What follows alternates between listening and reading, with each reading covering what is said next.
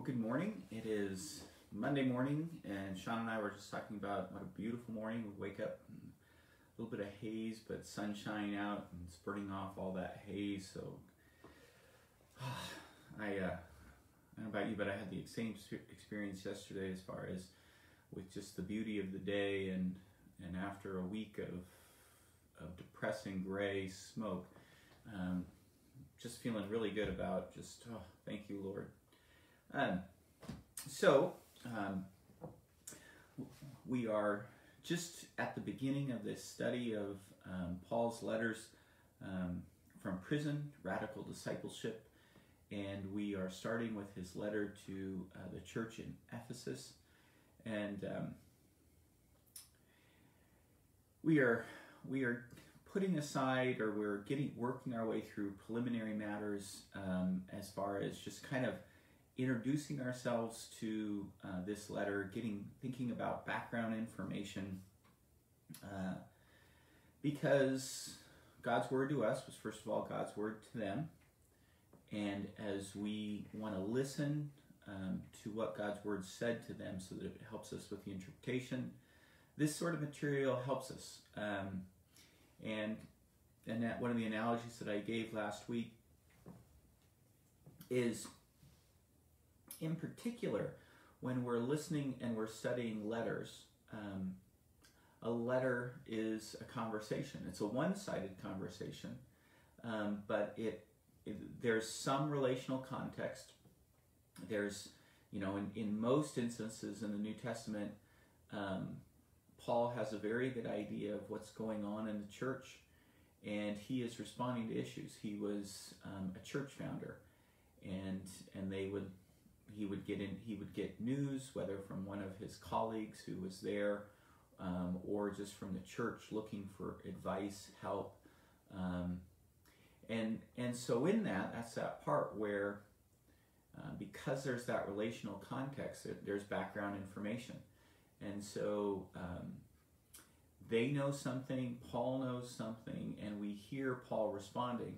And so the analogy is is that when you're interpreting a letter um, it's a little bit like hearing one side of um, a phone conversation. And the more that we can kind of understand where the other side's coming from and what Paul is responding to, um, greater insight uh, will be given into just understanding um, the message of the letter. Also, trying to give you um, some tools, techniques, ideas about when you when you decide that you want to study something. Um, and you know, and one of those tools that I've talked about is um, there's books that are called commentaries. You can always uh, purchase a commentary. Um, you know, depending on your experience, if you've if you've never done it before, I would recommend um, uh, a commentary that's not too technical. And um, N.T. Wright has a good series, The New Testament for Everyone. He's a great biblical scholar, and so um, and and he's writing um, really with um, a non-scholar in mind. And then after time, if you you know you, you continue to enjoy this sort of thing, then you you know you could you could do it again, get a more technical commentary. But technical doesn't always necessarily mean better.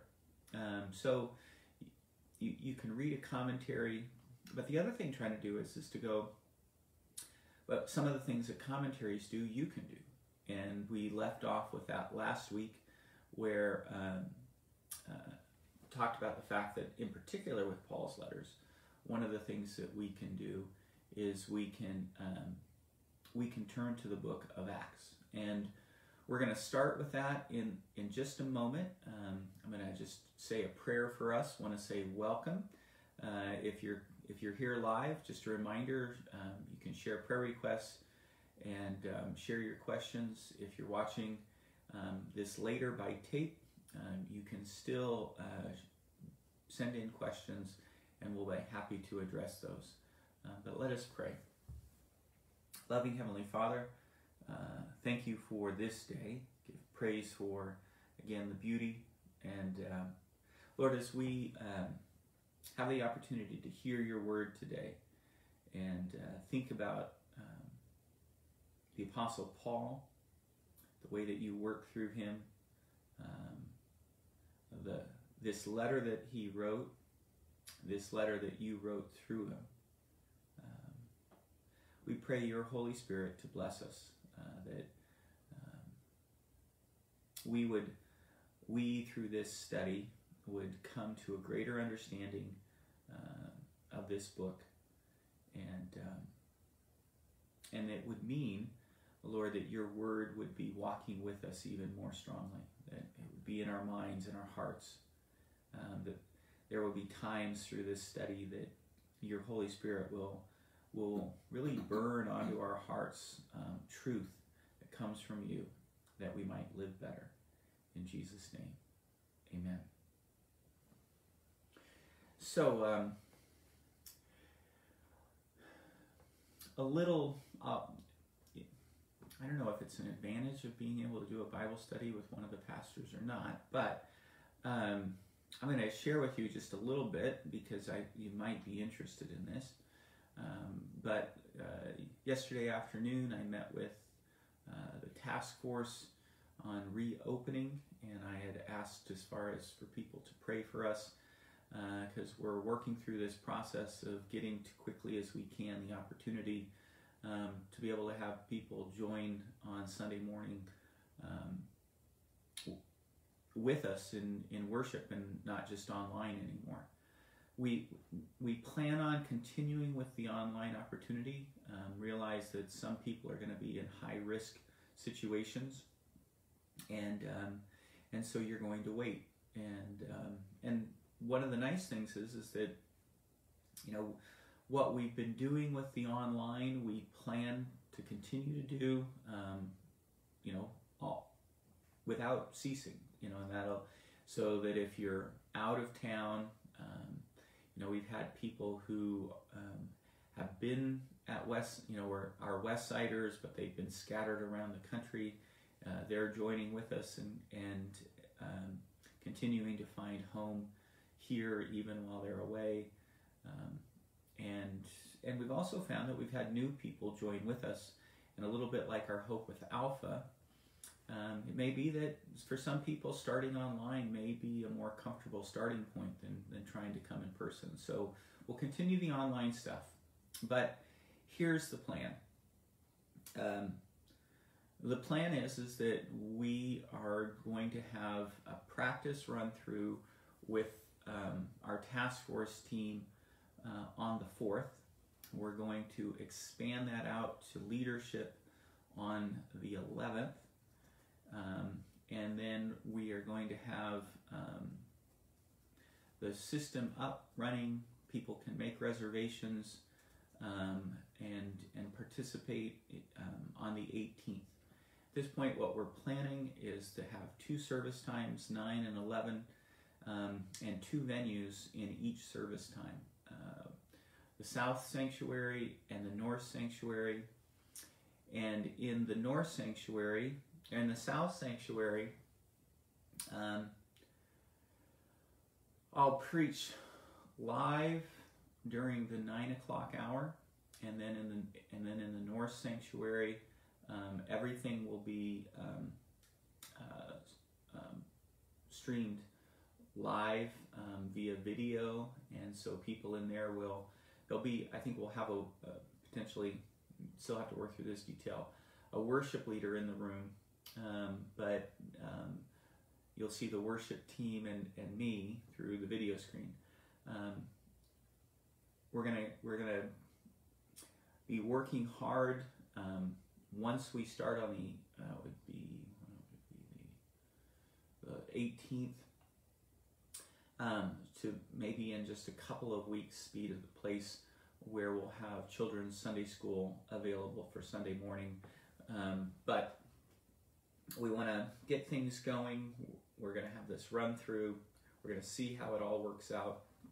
We're going to get the team up and running because it'll be a little bit different. There's going to be a reservation system. There's going to be somebody checking people in at the door. There's going to be somebody in the um, in the lobby uh, helping you know where to go. There's going to be somebody uh, helping actually seat people in the sanctuary. And so, so you know, the, and and in the beginning, there's all of those people are going to be highly trained as far as what we're doing um, with our mitigation um, and response as far as with COVID.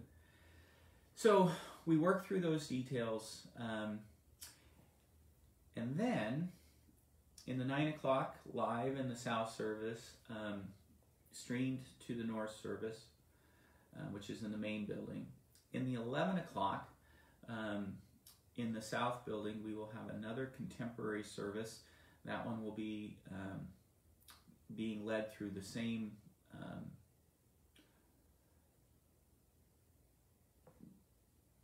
video that we produced at the nine o'clock hour. And in the and in the north building, in the main building, we will um, we are going to have a traditional service, and um, and then I'll be preaching live at that as well. Um, we'll just have a piano and um, and then a worship leader, and um, and all of these are based upon the stipulations uh, given to us by the state. So very excited that we are are heading in that direction, and um, and getting everything ready so that um, you know hopefully we we do this pretty smoothless smoothly flawlessly and um, uh, and we have options as far as expanding. Um, that if we end up having more than 200 people who are wanting to make reservations, um, because that's kind of the limit right now for Sunday morning, uh, that we have we have some ideas on how we could expand that out. But that's what we're starting with. The online experience will move from 9:45 to 9 o'clock in the morning, and um, and so those those will be our first steps back. Thought thought you might like to hear that, and um, obviously uh, you heard it first here. Again, that little advantage of doing the Bible study with me, um, and I'm going to be producing that content to send out um, and give information to people um, by tomorrow. Question. Somebody just wanted to clarify that they will be able to watch on Facebook at nine. You yeah. The question was so we will continue with the online. Um, the only difference will be is that we will move um, the start time for the online service to nine o'clock. Um, but yep, and a little bit of a of also a warning. Um, I'm actually I'm, I'm going to send an, a letter or an email in to the to the state agency that oversees these things just to give input a little bit that you know some of the the way that the regulations have been written, uh, you know, seems, I, I, would say, a little bit um, uninformed about how churches approach worship for Sunday morning.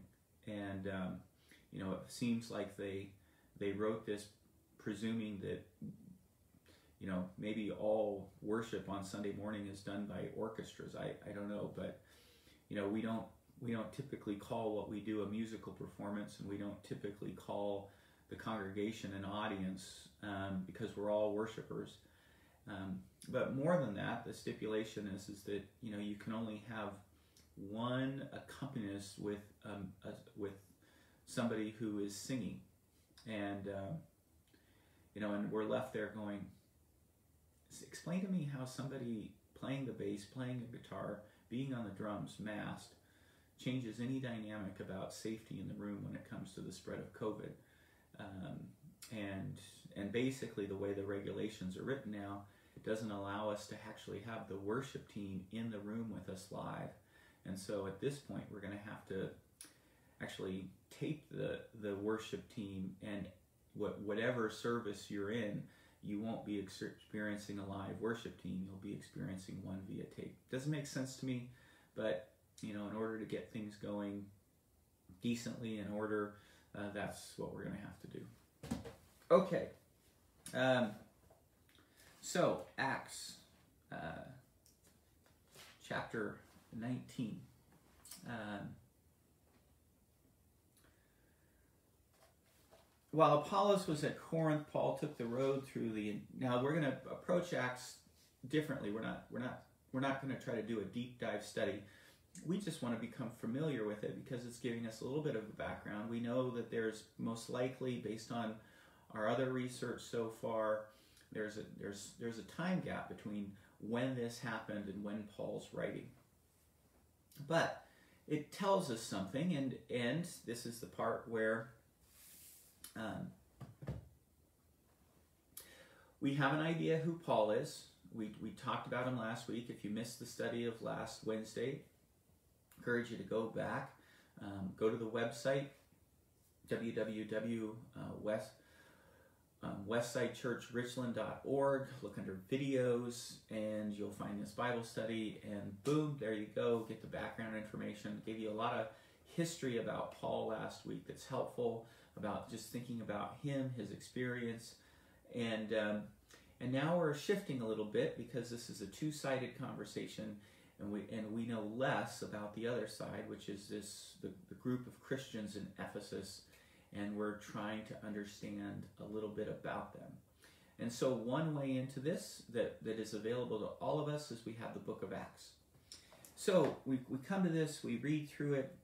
Um, he found disciples and asked them at Ephesus, Did you receive the Holy Spirit when you believed? They answered, No, we've not even heard that there is a Holy Spirit. Uh, so, Paul asked, Then what baptism did you receive? Well, John's baptism. So, they they believe in Jesus, but they haven't been fully introduced to the Christian faith. Um, that there's some this is an oddity. This is and this isn't unusual, and and and this is a part where it doesn't set a precedent for this expectation that you become a Christian and you don't get baptized by the Holy Spirit. There's some traditions in the church that have what's called second baptisms of the Holy Spirit. What we believe is that um, when you confess with your mouth Jesus is Lord, believe in your heart that He raised, that God raised Him from the dead, you're saved. And salvation means being born again. And being born again means the Holy Spirit comes and He lives inside of you. Now, when the Holy Spirit comes and He lives inside of you, what He wants is He wants to be um, the empowering presence of God in your life. And um, and we talk about this in the Alpha course is that Oftentimes, um, what can happen uh, for a believer's life is that the Holy Spirit's present, but it's he's present more like a pilot light. He's there, but he's not really giving a lot of heat into or energy or power um, into that person's life. The reason being is that um, we haven't given him the and the invitation um, to be that empowering presence. We, we haven't been seeking, we haven't been asking, we haven't been praying, um, we haven't been listening, we haven't been following. We can quench the work of the Spirit in our lives through disobedience. You know, and this is this becomes the part. Not just be a hearer of the word, but a doer of the word. And um, you know, and and and this is the part where actions um, speak louder than merely words. And so, um, you know, and I'll just give you a simple example. So you sit there and you say, you know, Holy Spirit, I want you to lead me and guide me. And then you wake up and and you you actually you read God's word, which is a good starting point, and you experience the prompting of the Holy Spirit. The you you're in Matthew, you read the Lord's Prayer. And there you read, Forgive us our um, debts as we forgive our debtors. And then you, you're reading the actual passage of Matthew. And so after um, lead us not into temptation, you then hear the warning of Jesus that anybody who doesn't forgive, their sins won't be forgiven. And, and, and it's even stronger and you read this and you realize that there's this person in your life that you that you need to forgive but you don't um, now the holy Spirit, do this i believe you i want to follow you okay then do this and then you ignore it um, that's quenching uh, or quel- squelching um, the spirit. That's or quenching um, his fire. And so that's the part where it's like, okay, so we want the Holy Spirit to have his way with us. So there's those traditions. They talk about second baptism. That's not really what this passage is about.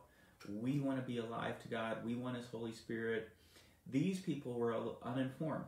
And so we can picture this sense of, oh, I've got more information to share with you. Let me share with you the difference between John's baptism, which was merely a baptism of repentance, and let's make sure that you are fully Christians.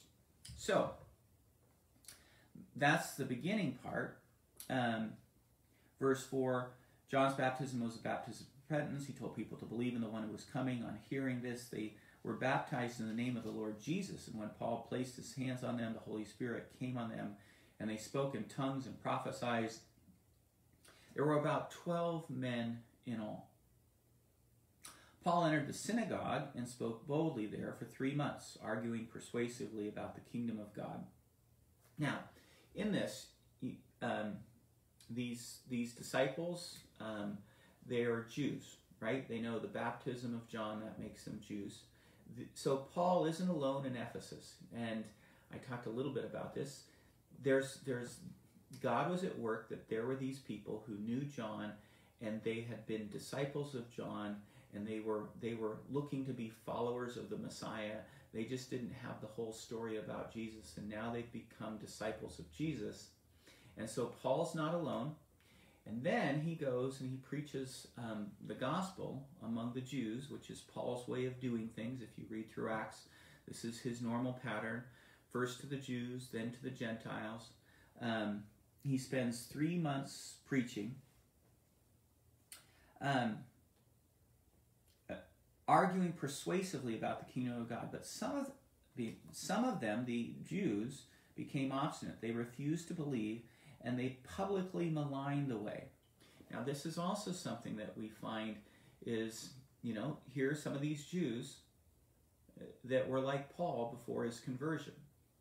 And they hear this stuff, and instead of becoming followers, they actually become those um, antagonists who want to attack and destroy. Um, so, Paul left. That became the sign. I've preached here for three months, and, and some have believed, but the rest are rejecting and becoming hostile. He took the disciples with him, and they had discussions daily in the lecture hall of Tyrannus. This went on for two years, so that all the Jews and Greeks who lived in the provinces of Asia heard the word of the Lord. Now he's shifting. He's taking this into the in, into the marketplace, this lecture hall of Tyrannus, a place uh, that's picturing philosophical schools sharing their ideas. Now, we will read this and then I'll give you a little bit of a background that's going to be helpful as we think about Ephesus and Greco Roman culture and the difference between the schools of philosophy and religions. Because for us, it, you almost flip it upside down. So I'll get there in a moment. Um, now, he did this, he lectured here um, in the Tyrannus halls. This went on for two years, so that all the Jews and Greeks who lived in the province of Asia heard the word of the Lord. Now, notice what happens here is, is that lives in the province of Asia.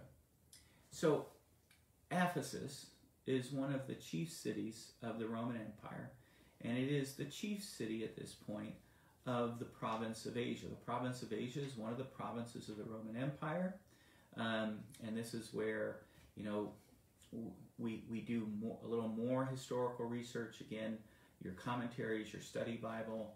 There's even a there's even a thing called an introduction to the New Testament, um, where like like where you have a study Bible that has a little introductory material right at the beginning of each book an introduction to the New Testament has all of that, and it's a lot more for every book of the Bible, and it's just a book like that. And um, and so you can go to those three sorts of places to begin your own research about how do I get this background information and understand it. Um, now, uh, and I think at this point, um,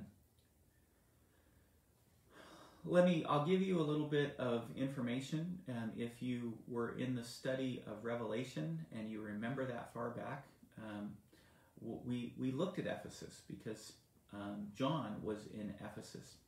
Ephesus was quite the church overall. Um, you know, Paul founded it. Uh, John, uh, the apostle, later in his life ended up becoming um, one of its leaders. Um, tradition holds that Mary, the mother of Jesus, ended up in Ephesus. Um, and so, um, yeah, quite a few people um, uh, found their home here. Uh, fourth largest city of the Roman Empire, um, population estimates between um, 125,000 and 225,000, um, which was a large city in the ancient world, fourth largest.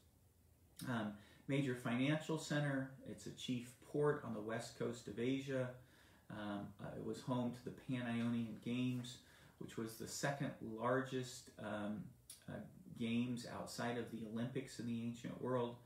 Um, Ephesus um, was a city of power, prestige, uh, and accomplishments uh, where the Gre- of the Greco-Roman Empire were on display.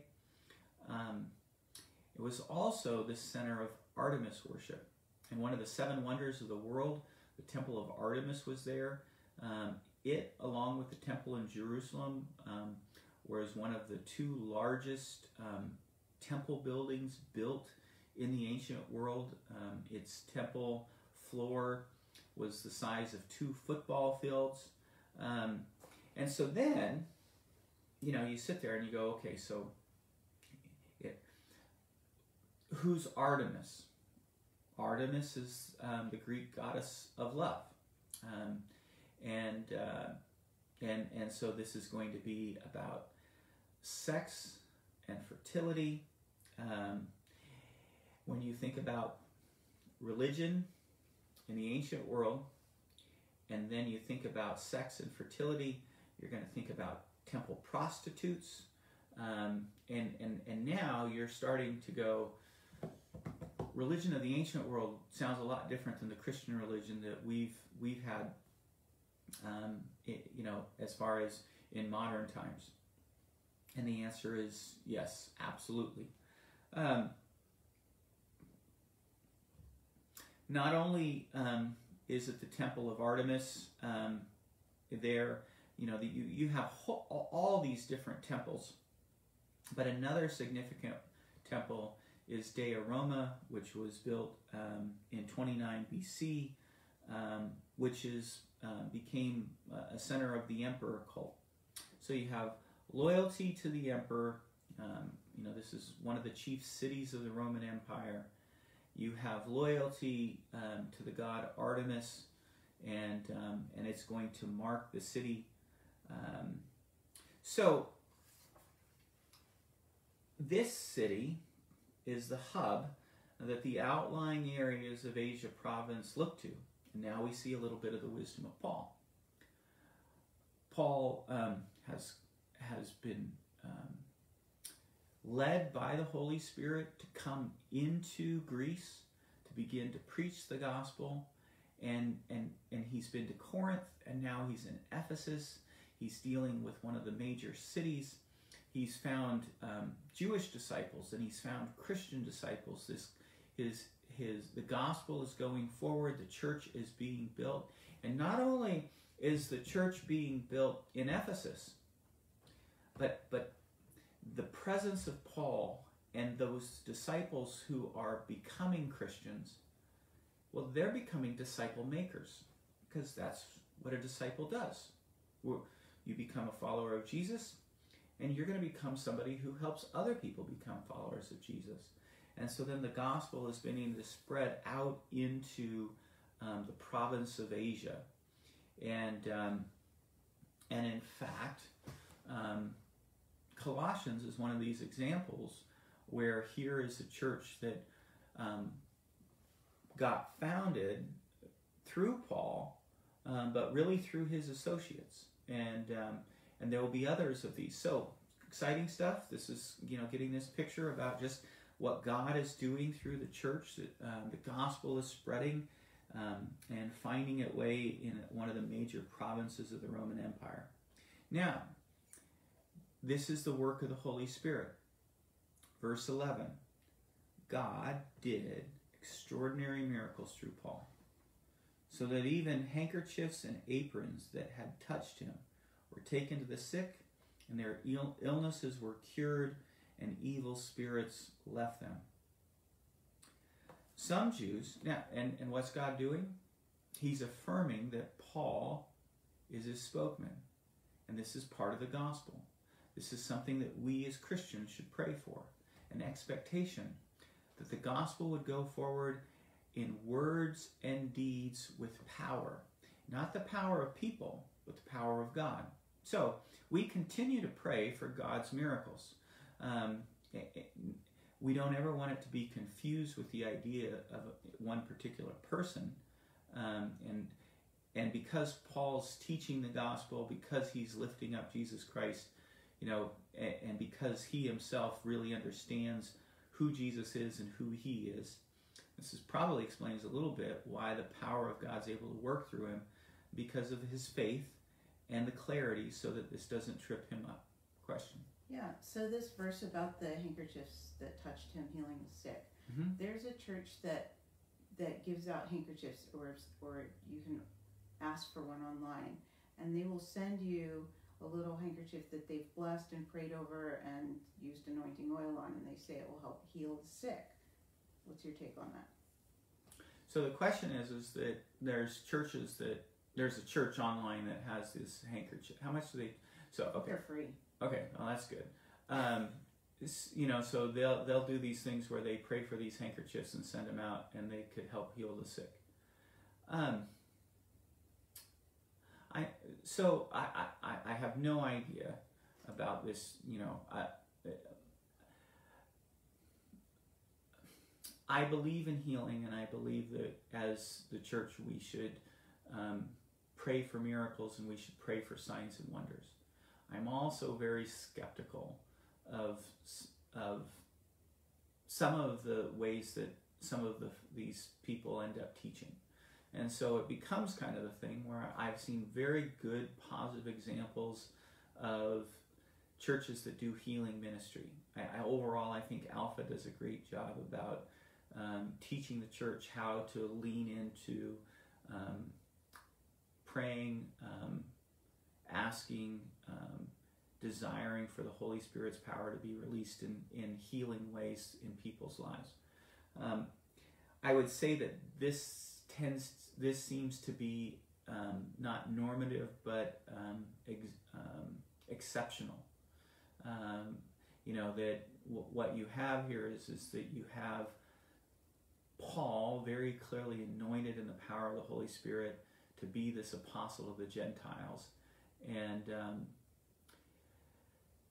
so yeah, so I mean, I, don't I you know I at this point I wouldn't see a reason why Westside would get into ministry of, play, of praying over handkerchiefs and offering to send them out.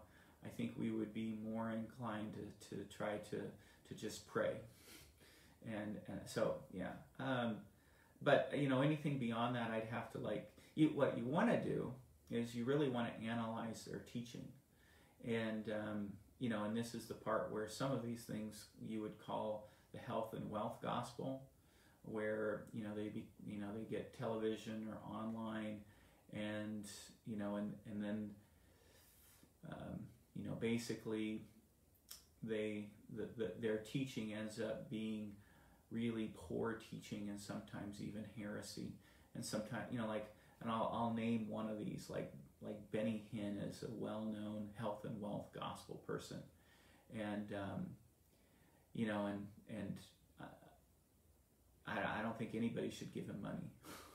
I think that it seems like the Benny Hinn show seems more about Benny Hinn than Jesus, and about him getting more money so he can buy a jet, and uh, you know, and that's just sort of so you know that, and that's this part where that this this can be open to abuse, but just because everything can be open to abuse. And so that's the part where it's like we are biblical people. So we're going to We're going to listen and live into the truth of the New Testament. And and this is the part, you know, our West Side, our tradition is Presbyterian, which is the frozen chosen, which are the people who have traditionally, you know, been very skeptical about the the the, empowering presence of the Holy Spirit. But that's not us. Some Presbyterians did that, but you know that I mean that's like. But again, they were being weak in their reading of Scripture and, and expectations based on the New Testament. So you know that's just what you'll hear from me. Presbycostal, full of the Spirit, our minds on fire for God. Bring that all together. Very best thing. Okay, verse 13. Some Jews who went around driving out evil spirits tried to invoke the name of the Lord Jesus over those who were demon possessed. They would say, In the name of Jesus, whom Paul preaches, I command you to come out. Seven sons of Sceva, a Jewish chief priest, were doing this. One day the evil spirit answered them, Jesus I know, and I know about Paul, but who are you? And then the man who had the evil spirit jumped on them and overpowered them all. He gave them such a beating, they ran out of the house naked and bleeding. Um, amazing things are happening. Um, the kingdom of God is breaking down um, the gates of hell. When we're talking about people coming out of idolatry, talking about people coming out of um, demon possession, but we also see that some of these things that are going on is, is that, you know, some of these people get excited and they don't know everything and and you know and this is the part jesus i know paul i know but i know nothing about you. Um, and and this is that this is given to us and and so that we just see what happened but also that we would learn from these things. Um, and and and when we it, it you know the call for battle is the call for disciples. And and you can't just be um, these sons of Sceva who are Jews who hear about these words of power and then they say them and think that that, that power matters. Now, what you're hearing here, which is which is going to play into our understanding of Ephesians, is that um, Ephesus is a place that's very much open to spiritual realities. Um, words of power, which is another name for magic, this is going to come up in in in our letter to the Ephesians. This is this is this is the flavor of the city. So we see this playing out here. And the name of Jesus is definitely a word of power. Excuse me. But the only one who can use the name of Jesus with power is an actual follower of Jesus. Jesus won't be used by pagan powers to be used by them. This is the living God. Um, when this became known to the Jews and Greeks living in Ephesus, they were all seized with fear, and the name of the Lord Jesus was held in high honor. God used this. Many of those who believed now came and openly confessed their evil deeds. A number who had practiced sorcery brought their scrolls together and burned them publicly. And when they calculated the value of the scrolls, the total came to 50,000 drachmas. That is an incredible amount of money. In this way, the word of the Lord spread widely and grew in power. And after all this happened, Paul decided to go to Jerusalem, passing through Macedonia um, and Achaia. After I had been there, he said, I must visit Rome also. He went. Uh, he sent two of his helpers, Timothy and Erastus, to Macedonia while he stayed in the province of Asia. And then we, we hear about this successful thing, and then we hear about the riot in Ephesus. And um, about that time, there arose a great disturbance about the way. A silversmith named Demetrius, who um, made silver shrines of Artemis, brought in no little business for the craftsmen. He called them together along with the workmen in related trades and said, Men, you know we receive a good income from this business, and you see and hear how this fellow Paul has convinced and led astray large numbers of people here in Ephesus, and in particular the whole province of Asia. He says that man made gods are no gods at all. There is danger, not only that our trade will lose its good name, but also that the temple of the great goddess Artemis will be discredited, and the goddess herself, who is worshipped throughout the province of province of Asia and the world will be robbed of her divine majesty. Their income's getting affected. Now, we can assume that you know they believe all these highfalutin things as well, but you know this is the part where the success of Paul's message of the gospel, people are leaving idolatry and all these other gods, and the silversmith is calling together the tradesmen and saying, "Wait a second, there, this is a threat." When they heard this, they were furious and began shouting, Great is Artemis of the Ephesians. Soon the whole city was in uproar. The people seized Gaius and Aristarchus, Paul's traveling companions from Macedonia, rushed as one man into the theater. Paul wanted to appear before the crowd, but the disciples would not let him. Now, what you realize is a little interesting thing here. You hear about all of Paul's public ministry, and then you hear about one episode in particular towards the end. So it felt like you were all done, but we got to go back and we you got to hear about this. This is important. It's exciting. The gospel is again breaking down the gates of hell. But in this world, you're going to have trouble. If they persecute me, they're going to persecute you. Um,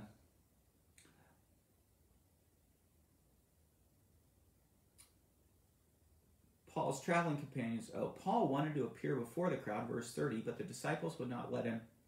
Even some of the officials of the province, friends of Paul, sent him a message begging him not to venture into the theater.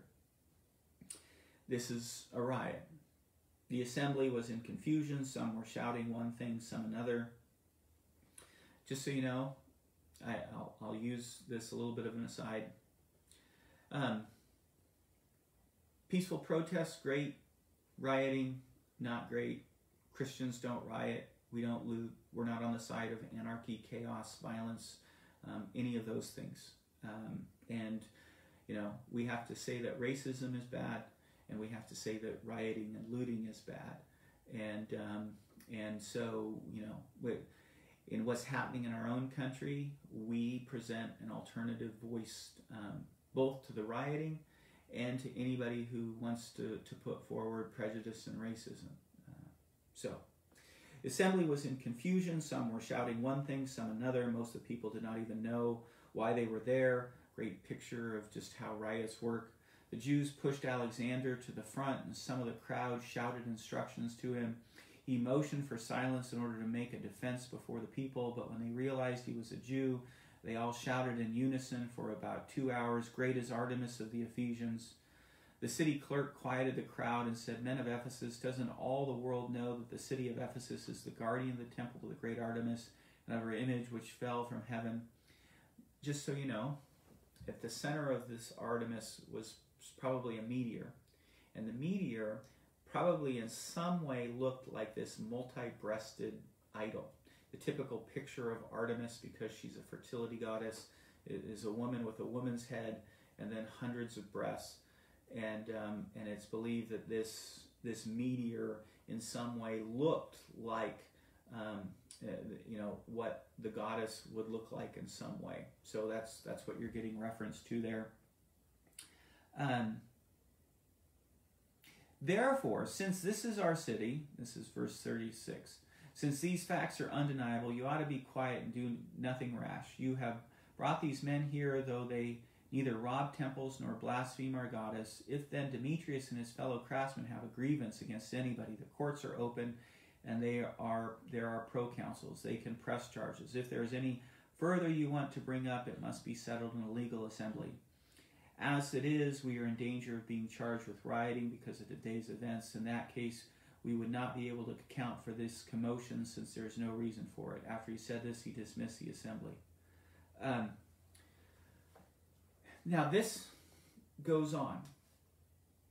And, um, and, and, but we have enough of sitting there going, we have this picture and we see this tenuous tension between the rise of the church in Ephesus.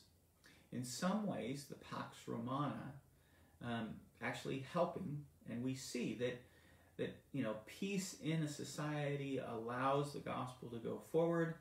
Um, just at the right time, the gospel of Christ comes forward, and yet It's going to create a disturbance because as we break down the gates of hell, Satan's going to rise up, and and so uh, in that background, we should we know as we come to Ephesus that you know well there may be these sorts of tensions.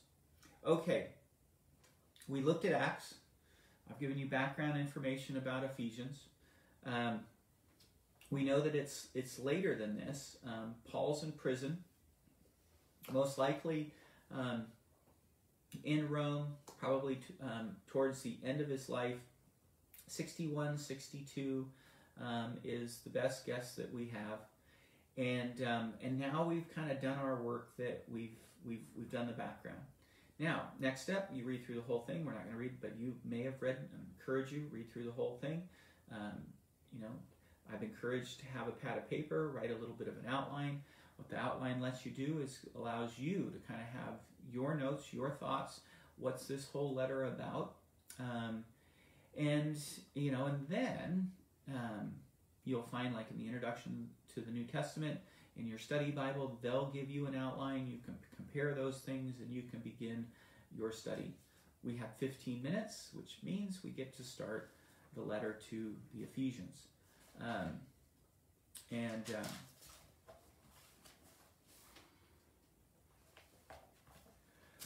um, chapter 1, verse 1 Paul, an apostle of Christ Jesus by the will of God, to the saints in Ephesus, the faithful in Christ Jesus. Grace and peace to you from God our Father and the Lord Jesus Christ.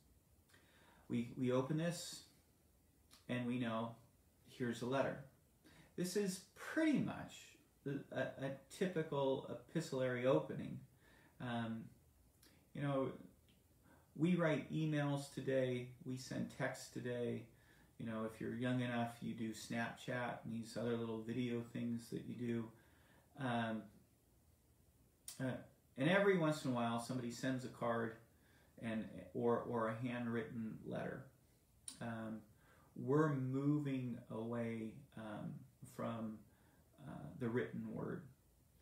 Now, in the ancient world, they were an oral society, but there was an educated elite, and they and and writing um, was really, if you wanted to communicate off across distances, was necessary. And so, writing, um, they, some people spent their lives um, as scribes, and it became an art form. Um, and letter writing became an art form. And if you were educated, you would get trained in these things. And so, this is the part where you know we're gonna we're, we're gonna lean in a little bit in our as we as we become students of Scripture. You know, to, to listen to some of these resources. This is this is a letter. Now, First, you get the person who's writing. Now, Paul may not actually be the actual one writing, um, is very much, but he's the one at least dictating. Paul, an apostle. Okay, so the word apostle literally is a messenger with authority. Um, and, and, you know, they're basically like an ambassador.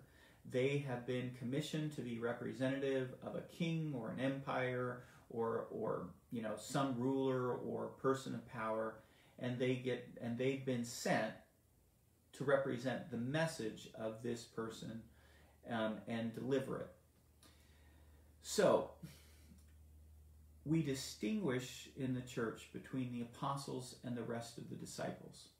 Um, every once in a while, you'll find the word apostle and it literally just means its basic meaning is a messenger with authority. In Romans, we hear about Junia, and she's described in as apostle, and we wouldn't look at her to be an apostle as the same way as the twelve. In the New Testament, we have the twelve Matthew, Mark, Luke, John. Um, no, not Matthew, those are the Gospels. So Matthew, Peter, James, John, um, Simon the Zealot, um, Bartholomew, uh, you know, so we, we've got the, the original 12. Judas died. They picked another in Acts. And, and then we have Paul, who is affirmed by the church in Jerusalem, is called by Jesus Christ, and he's called as the apostle to the Gentiles. And um, and so when we think about Paul as an apostle, we're thinking about that category of apostolic authority. Here is this messenger, and Paul says, chosen by Christ Jesus by the will of God. Um, the authority doesn't reside in him, it resides in Jesus and the one who sends him. So, Paul, an apostle, um, speaking the very words of God, speaking on behalf of Jesus Christ now, notice it says Christ Jesus. Um, uh, so, um, I'm thinking about Joe Engle here because you know a few years ago, as they um, we were in Bible study and, and you know and we began to lean into this of why does it say Christ Jesus and um, because Christ is a title, it's not Jesus's last name. Um, it it, um, it means anointed one, and and the word, just so you know, this is a transliteration in Greek. This is Christos, which is translating the Aramaic word Meshiach, Messiah, which just means anointed one.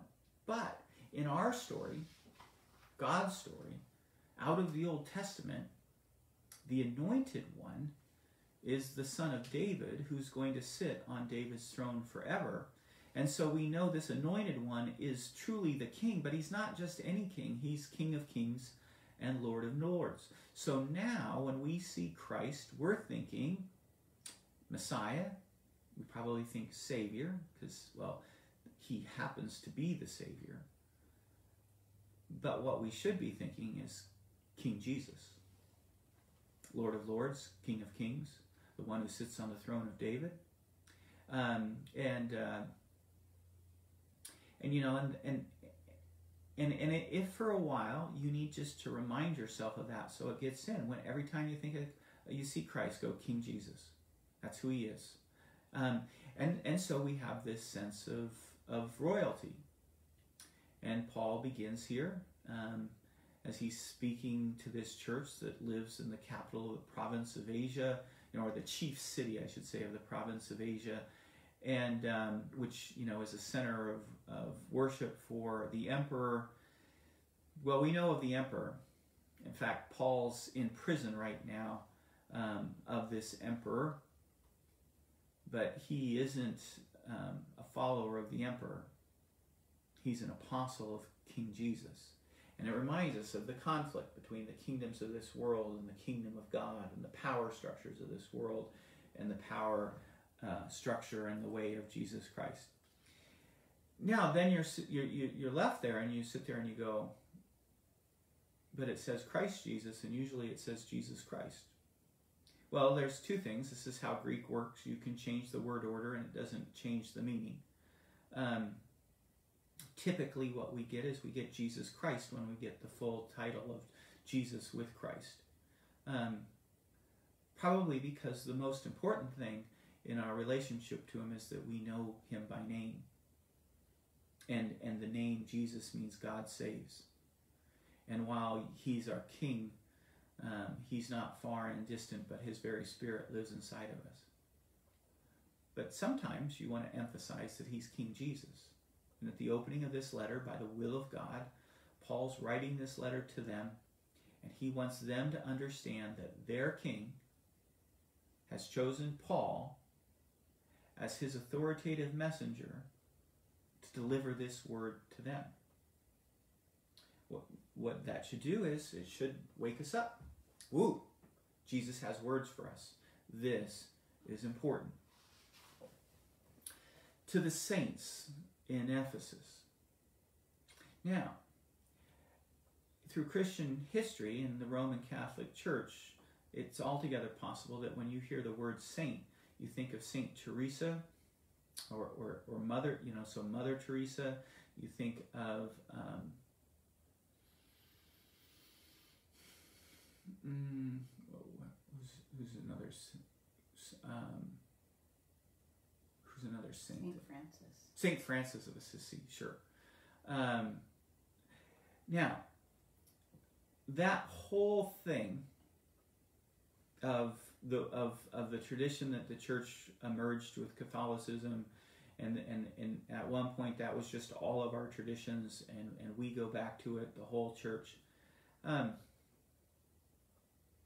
it, it in my opinion is is is is missing the point. It's great to celebrate people who follow Jesus. We want to do that, but calling them saints and and and, and kind of excluding the rest of us from the idea of being saints completely misses the New Testament.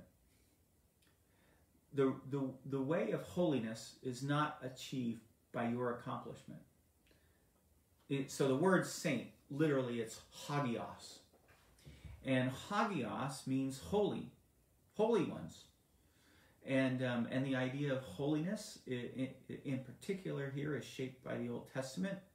Um, the ones who have been set apart for God and, and not just simply separated out, but they are characterized by the very character of God pure, holy, um, righteous, good.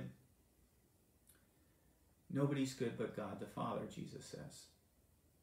It's true. But you and I, we've been saved. And now, Pneuma Hagia, the, and, and actually, the pneuma hagios, the Holy Spirit, He is in you. And, and so when it says saints here, it's not referring to a special class of Christians. It's actually referring to everyone who's a Christian hearing this letter in Ephesus, and now to you and to me. And we do not achieve sainthood by what we do we receive it by trusting in Jesus Christ. So, we're, we're doing our Bible study. We're coming along. We're, we're looking at these words. What, what, you're, what you're seeing, and this is where this is taking a little bit of time, is, is that we've got to get to the right definitions. And sometimes we, we, we, we read the word, and this is one of those things that if you haven't done a lot of Bible study and you read through the Bible, that there may be a whole bunch of things where it's really not speaking to you clearly because you, you don't have clarity over the message that's trying to be sent because you don't have clarity over the words.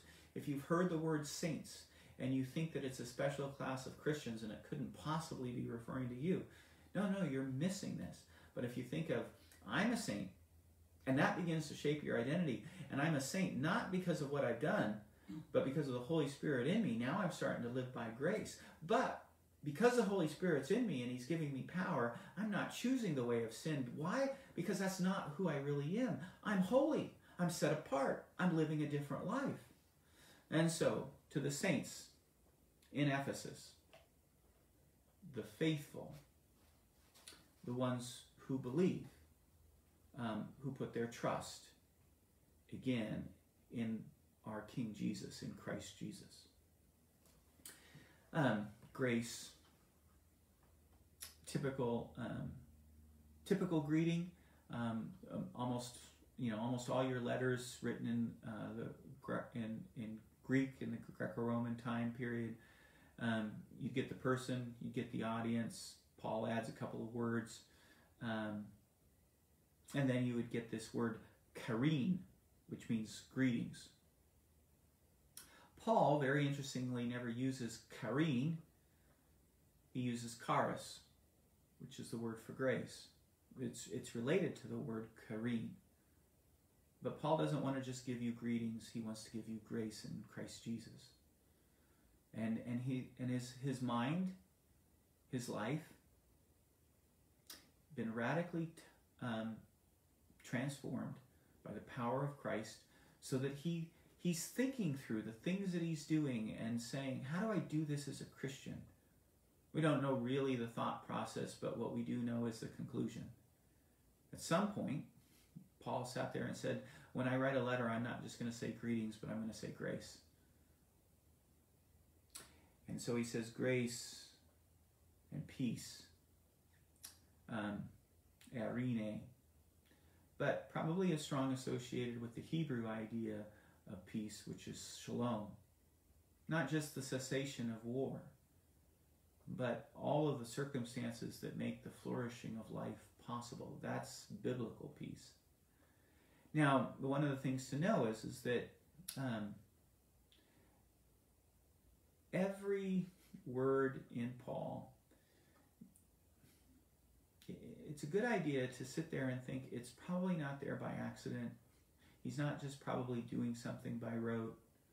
Dear John, his his openings always are kind of preparing you for what's to come.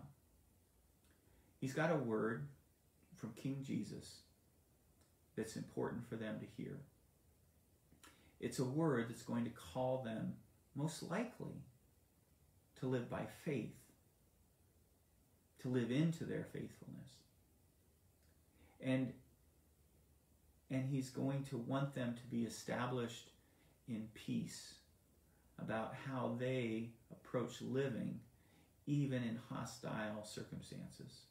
Um, now, it's not just the opening words, but then Paul does this other thing. Um, you, you, sometimes in letters you would get this the, the person writing, the one that's being written to, the opening greeting, and then maybe a little blessing or something like that. But with Paul, you get this full blown prayer. And um, and that prayer tips the hand. And what you'll find is is that the themes in that prayer end up getting worked all through whichever letter that you're writing. And so it's helpful to pay attention to this prayer. He's not he's not praying randomly. He's praying specifically, and um, and he's been thinking about this word that he's going to send, and he's been praying about this word that he's going to send. And so with that, woohoo, we got through introductory matters. Um, we got through two verses. Some of you have been with Bible study for me before, and sometimes getting through two verses is pretty good. Um, we're probably going to get through more than two verses uh, on Wednesday. Um, do we have any prayer requests? Yes, you have one. Tracy Parrish would like prayer for relief from her back and nerve pain. Mm. Um, she had her knee replaced eight weeks ago. Okay. Loving Heavenly Father, thank you for this day. And um, Lord, we lift up Tracy to you. Um, and uh, Lord, as she's had this knee surgery, we give thanks for that. But as um, our bodies all interconnected and the way that we walk and the way that we position our, our weight, you know, we often feel it in our back and there's this pain that she has and she's asking for relief.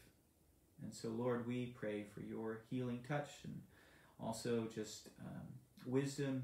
And um, Lord, if there's even uh, anything that uh, doctors could do, um, but we do pray, Lord, that um, the pain would go away, uh, her recovery from her knee surgery would go well, and we lift her up to you.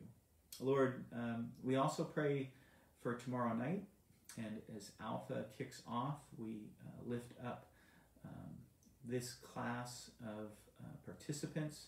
We pray your blessings and we pray, Lord, this opportunity of doing Alpha online.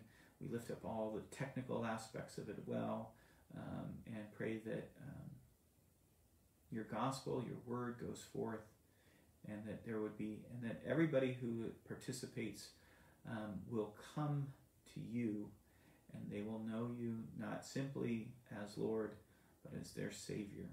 In Jesus' name, amen. Have a great and wonderful day. God bless.